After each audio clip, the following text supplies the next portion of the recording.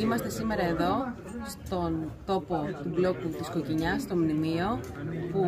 με αυτή τη συμβολική εκδήλωση και κατάθεση στεφάνων θέλουμε να τιμήσουμε την 9η Μάη, την ημέρα της αντιφασιστικής νίκης των λαών. Θέλουμε να δηλώσουμε από τον τόπο αυτό μαρτυρίου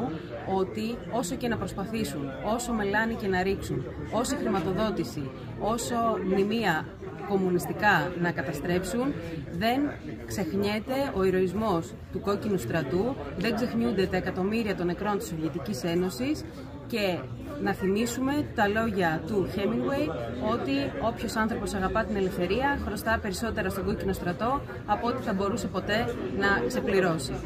να θυμίσουμε ότι αυτή τη στιγμή που μιλάμε η επίσημη ιδεολογία της Ευρωπαϊκής Ένωσης είναι η εξίσωση του φασισμού με τον κομμουνισμό. Είναι σαν να μας λένε δηλαδή ότι εδώ στον μπλόκο ήταν το ίδιο πράγμα, οι νεκροί, οι εκατοντάδες νεκροί με τους ναζί κατακτητές που τους εκτέλεσαν σε αυτόν εδώ τον τείχο. Αυτή είναι η επίσημη ιδεολογία της Ευρωπαϊκής Ένωσης και δήθεν αυτές τις μέρες κλαίνε για την άνοδο της ακροδεξιάς και τι θα απογίνει με αυτό τον